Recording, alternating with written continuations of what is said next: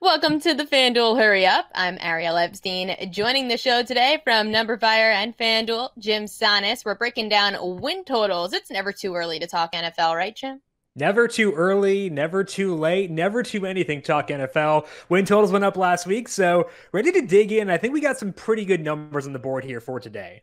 Let's start with the New England Patriots you're keeping your eye on their win total. I find it interesting because we don't really know the quarterback situation. How does that factor into your handicap?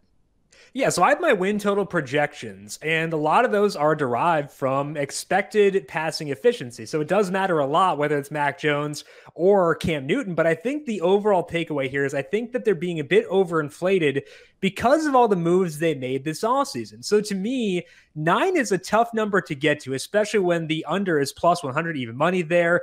I've been projected at 7.6 wins, and part of that is skepticism around their rebuild offense, but also like it's a tough division now. At least I think so. I have the Bills winning 11.9 games, Dolphins are at 9.6, the Jets are at 6.0, and those wins got to come from somewhere. So it's a tough division, I think, for the Patriots this year. Tough competition overall. And I think that under nine is realistic here. They'd have to go over 500 to get to nine wins for this year. So I think that we could see some bumps in the road, whether it be with Cam Newton or with Mac Jones. And that to me says under here, especially when you factor in how good specifically the Bills and the Dolphins could be this year.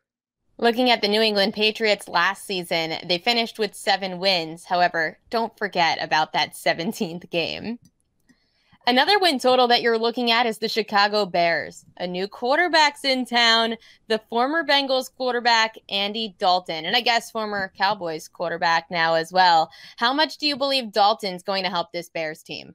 It's a tough one to handicap because you have to decide how much is Andy Dalton, how much is Justin Fields. But I think to me, the big thing that it comes down to is I would expect this team to be starting a rookie at left tackle and a rookie at quarterback. So when I look at the projected passing efficiency for the Chicago Bears, it's hard to get too high of a number for them. And it's not because of Justin Fields. I love Justin Fields. I think he was a tremendous pick, and they didn't give up too much to get him. So I think that that was a great pick. But when you have a team starting rookies at what potentially could be the two most important pieces on offense, two most important positions, it's really tough to get for an over. The defense had to shed some good assets this year to get under the salary cap. So I am going under this number. I do believe in Justin Fields long term, but in the short term, it's just hard to be high on a team that's going to have so much inexperience at key positions for this year.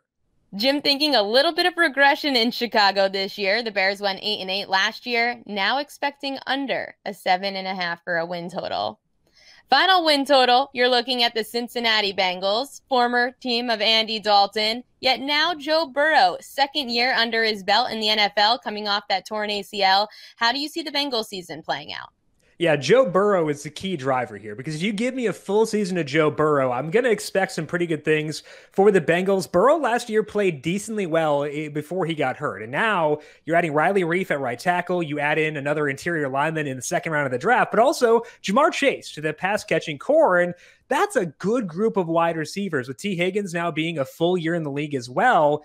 They're probably going to move the football pretty well offensively my win total projections actually have their defense taking a step back this year because William Jackson III is gone, Carlos Dunlap is gone, and the guys they signed to replace them are not as good as the guys they lost. So I actually have them taking a step back defensively, but the step forward they take offensively with Burrow being there for a full season is enough to overcome that. I've been projected at 7.2 wins right now. The over at six and a half is plus 120. So we're getting plus money to go over a number I think we'll get there straight up. So I think this makes a lot of sense. Buying into Joe Burrow in year two, it's a really tough division, especially if you expect the Browns to take a step forward, which a lot of people do. So it's not an easy road for the Bengals, but getting to seven wins, I think, is very realistic if this offense lives up to what it could do.